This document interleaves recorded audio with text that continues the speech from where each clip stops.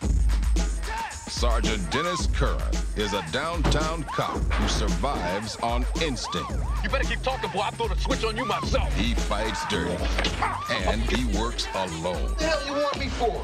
But he's about to get the one thing he doesn't need. I want to be a cop, Dennis. A partner. Back off.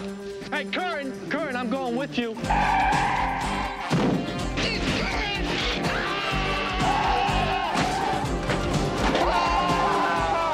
Just think it's kind of risky to jeopardize another officer like that, especially when it's me. Now, Curran's greatest threat isn't waiting in the streets. It's sitting on the seat beside him. Gotta be honest.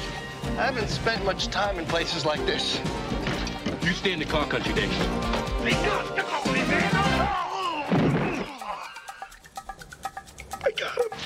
If you're gonna question the suspect, you should read him his rights first.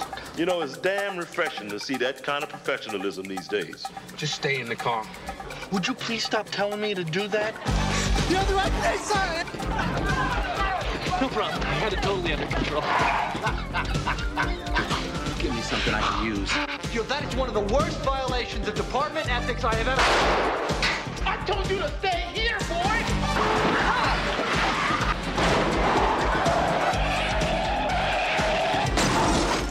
Forest Whitaker.